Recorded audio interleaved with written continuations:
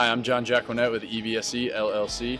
In this video, I'll show you the functionality of the Galaxy Overhead EVSE for residential use.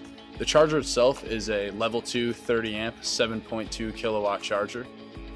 Rather than dealing with traditional charging cables, this patented cable management system brings the cable right to you.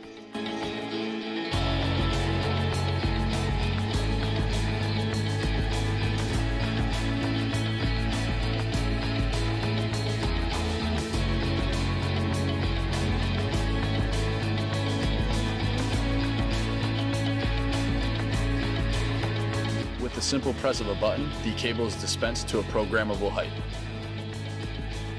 To extend the cable further, just press and hold the button on the J1772 connector and you can extend the cable to as far as you need.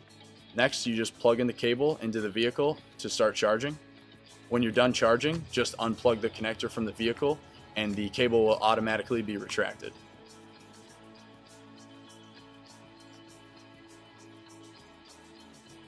There are currently five options that can be used to control the charger itself.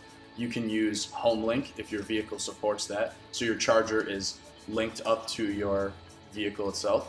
You can also use a wireless or wired push button. You can also use a key fob similar to a garage door opener, or you can use a sensor that detects when the vehicle comes down and automatically dispenses the charger. The charger has a very fast installation time, can be installed by one electrician, and can be installed in any ceiling type.